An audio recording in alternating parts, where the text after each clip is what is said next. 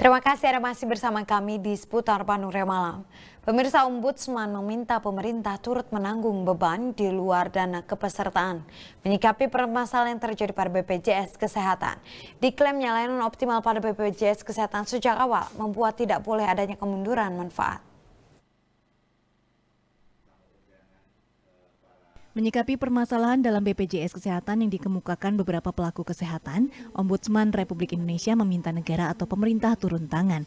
Menurutnya BPJS Kesehatan sudah dideklarasikan sebagai jaminan sosial nasional, sehingga bukan murni asuransi, tapi ada unsur gotong royongnya.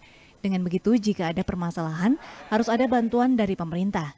Semua layanan yang sudah optimal di awal pun tidak boleh ada kemunduran.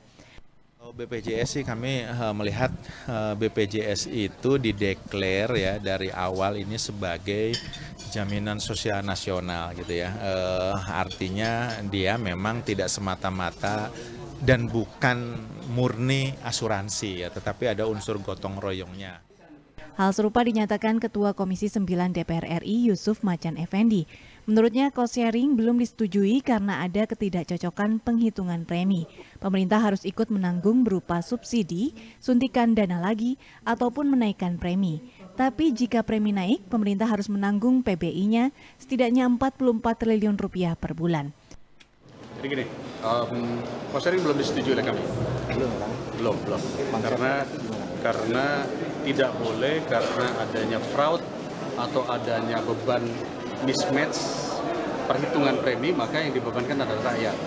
Nah, kami meminta pemerintah yang harus menanggung. Nah, konsep pemerintah menanggung artinya apa? Subsidi kah? Suntikan lagi kah? Gitu ya? Atau menaikkan premi.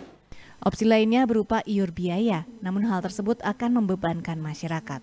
Budi Hartati, Bandung TV.